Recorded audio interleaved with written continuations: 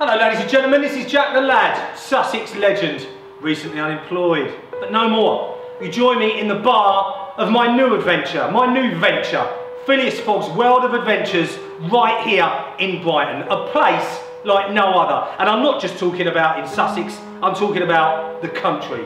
An immersive live action adventure that sees you travel around the world in 80 days with the one and only Phileas Fogg live actors, live adventure, and sets that are straight out of Hollywood.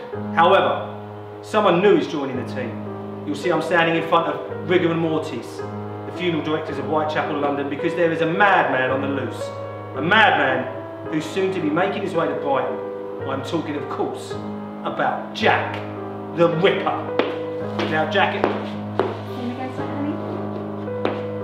I'll see you in a bit, darling.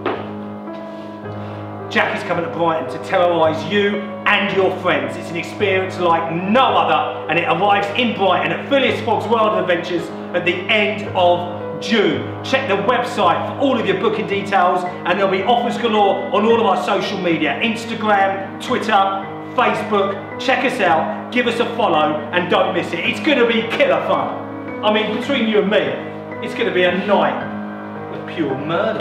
Gotta kill!